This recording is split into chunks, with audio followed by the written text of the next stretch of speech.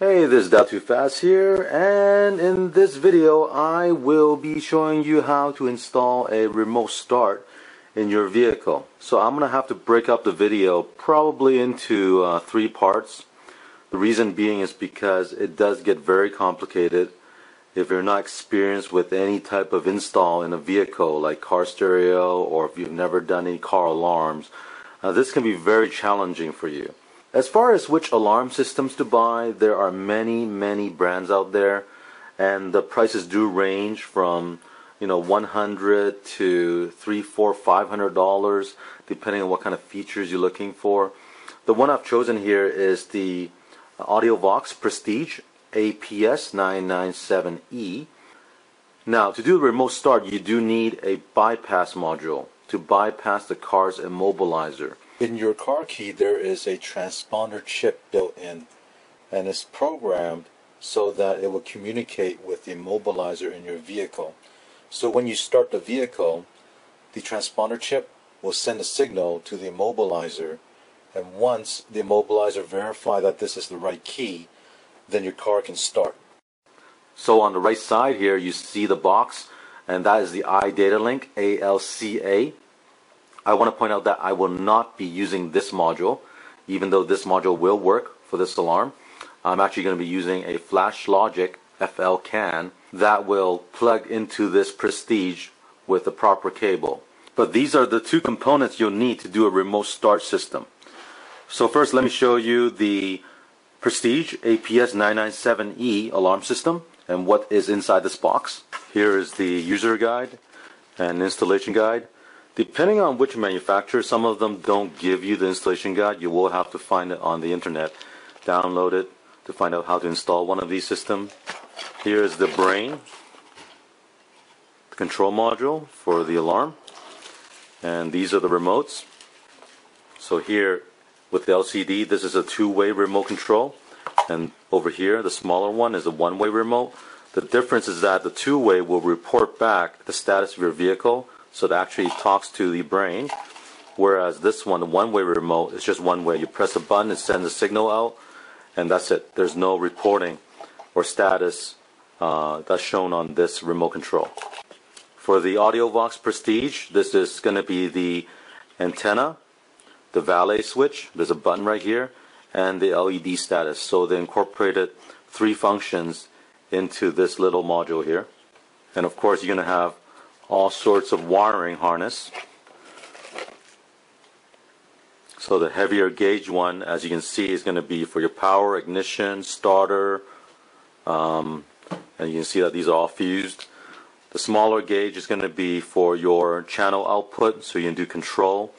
Also door lock trigger, trunk trigger, uh, parking light output, if it's a low current pulse output. Here is the relay for your starter cut. This wire is to connect from the brain to the antenna right here. Comes with a battery for the two-way remote, hood pin switch. In this box is the shock sensor. This is the siren. This is definitely a very compact size compared to some of the older ones um, used long time ago. As you can see, it's very, very small, which makes installation very easy but the uh, wire as you can see is not that long so you will need to extend this wire from the engine bay to the inside of the vehicle. I want to stress that if you're going to be doing this install by yourself you must do the research way before you even buy any of these parts. The reason is because there are so many different brands and compatibility between bypass modules and the alarm systems so you want to make sure you understand fully where you're getting yourself into. You don't want to buy all these parts and then be stuck with it only to find out, hey, you need to flash this bypass module and you don't have the ability to flash it. So to start things off, the diagram here, this is for the alarm system. Make sure you review every one of these wires. You should know which wire needs to be connected, where it needs to be connected, and which wire does not need to be connected. The wiring diagram that's in the middle here is for the bypass module. You need to make sure you understand that majority of these will need to be flashed before you use it. and if you don't have the flasher for it, then you're going to be stuck with a part that you can't use. And every vehicle is different. So you really need to be careful and know what needs to be connected because you don't want to mess this up. Otherwise you're going to damage something in your vehicle. This sheet on the right is the wiring sheet for your vehicle. It's specific to your vehicle and the model, make and year. Now this information here will allow you to quickly identify where to find the starter wire, 12 volt constant wire, ignition wire, uh, door lock wire. There's a lot of information on this and you still need to test all these wires before you connect them up because sometimes this information provided by the alarm company may be incorrect.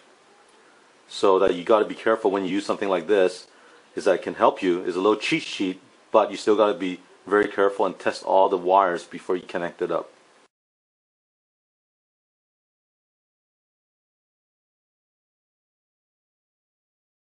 Let me show you what I've done to do my install. So earlier I showed you the diagram and this is actually the diagram uh, that I printed out and I marked up everything that I need to connect up and also I put notes here to remind me uh, which of these wires uh, go where. So this is for the flash logic FL CAN and again I highlighted all the wires that I need to connect and as you can see a lot of these wires I will not be using because I'll be using the data mode, the data mode from the bypass module to the alarm system. I also printed out the entire installation guide for the alarm system. The installation guide, it's, it's quite detailed. Even at the back, it has information on how to program the options available. These are all the programming options. The next section, this one is the user guide. It tells you how to program the remote, some of the basic functions. Again, here's the wiring diagram. More wiring information for the bypass module. For the rest of this video, I will show you how to prep the alarm wiring.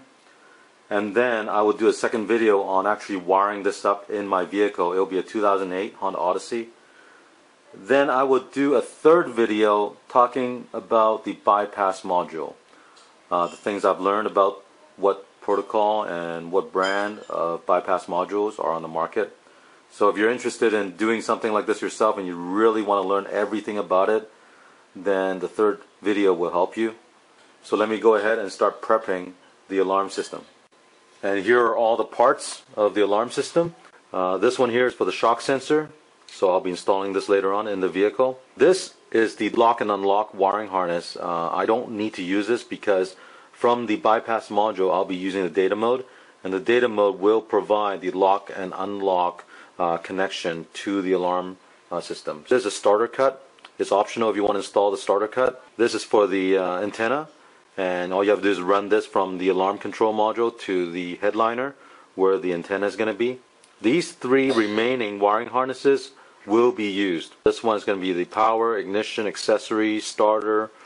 Uh, over here, this is going to be your ground, your parking light output.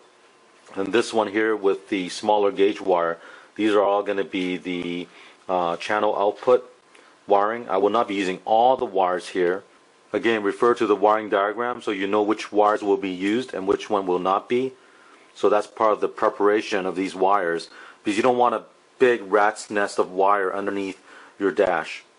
Starting with this wiring harness with the heavy gauge wire, this is going to be for your power and referring to the wiring sheet for your vehicle for my 2008 Honda Odyssey you'll see that there is a 12 volt constant starter there's ignition no second ignition no third ignition NA NA uh, there's accessory there's also a second accessory so these are the wires that you need to connect up. Now keep in mind, your vehicle might be a little different. It might have a second ignition and you need to connect that up. So for my vehicle, these are the wires I'll need for all the ones listed here. And then these two are the wires I don't need. With these two wires that I don't need, I do not cut them off. And I don't recommend you cutting it off because either in the future you might want to use this system in a different vehicle and you end up needing that wire or also you might find out as you're installing that oops I actually do need that wire and I was mistaken when looking at the diagram. So what I would do is basically bundle this up so that will be out of the way. So here you see I've put a couple of tie wraps.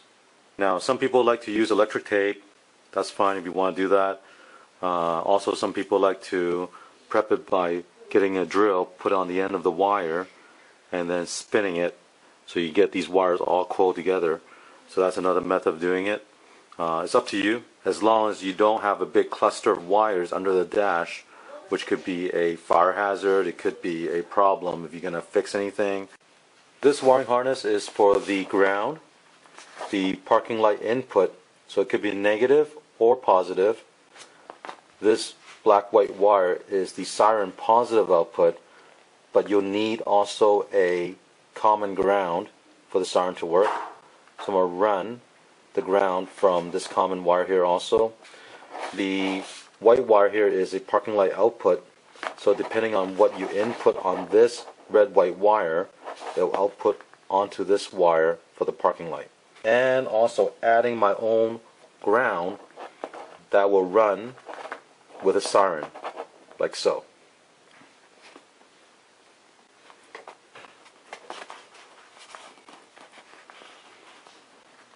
I'm going to solder all these together.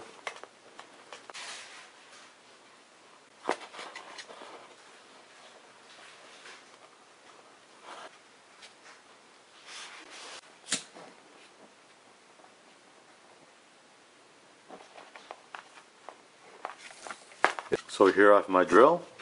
You put the siren wires, the two here, at the end of the chuck. And then while pulling on it straight, go and spin this. Here's what this one looks like after prepping it. We're left with the parking light negative output, the ground, and the siren output right here. Here is the 26 pin wiring harness. And as you can see, these are the smaller gauge wires and I've pulled out all the wires I'll need. Uh, some of these are your channel uh, output. I'll be using it to control the sliding door. And these remaining wires at the bottom here, a lot of these are going to be provided by the bypass module, the data connection, so I don't need to hook these up. I'll go ahead and clean this up. And same as the other harness I showed you earlier, I don't like to cut all these off in case if you need it later on. But what I'll do is bundle these up like so. Make it nice and tidy. And then put a couple of tie wraps on it.